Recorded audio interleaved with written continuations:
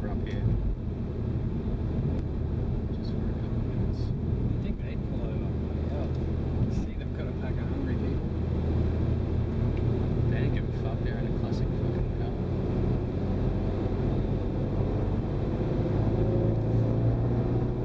Maybe not turn here.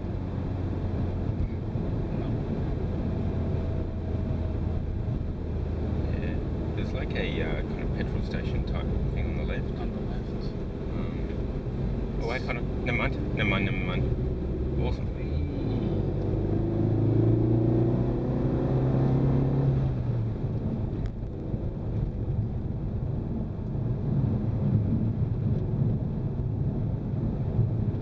Maybe we'll just follow bikes.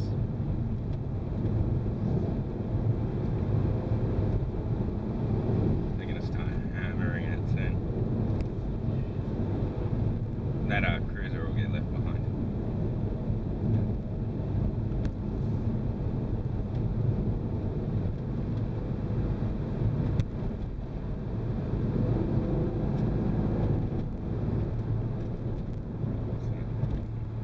Yeah, I'm, I'm, st- Yeah. I'm not doing the limit at all. No, no, no, no, no. I was just curious. Fuck it. The bike's in front of me, GTR behind me. I have a fuck not. No, no way.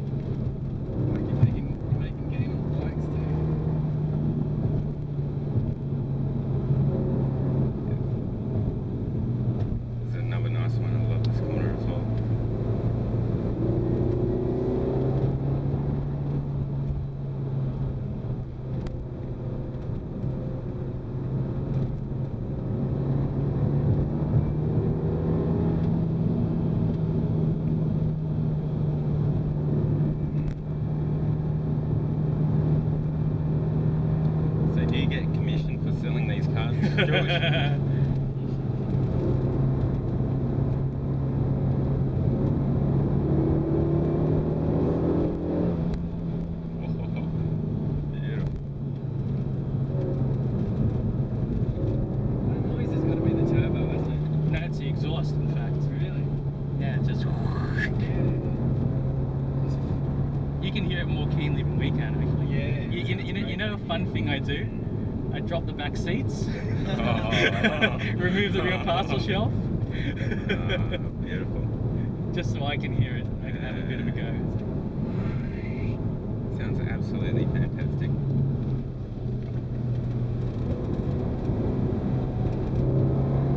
I'm glad you got bucket seats in the front. Yeah. They were an option, were they? Um, well, if I had the had bought the lower spec,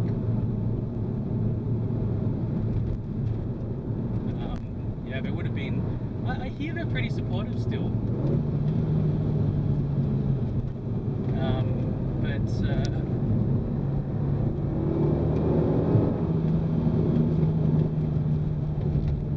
um, yeah, I hear they're pretty supportive, but um, uh, yeah, I wanted Recaros. And I don't want to leather mainly. They're good seats. I think leather's nice. So much more comfortable. They're really, they're good. They're not like shitty bucket seats, you know, Yeah. like the ones that you come in, um, uh, like a Lotus and stuff. Yeah. They're like Yeah. really flimsy and really shit. Yeah, their fin is all fuck. Yeah.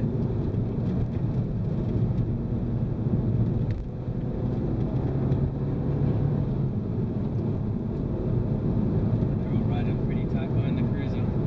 yeah.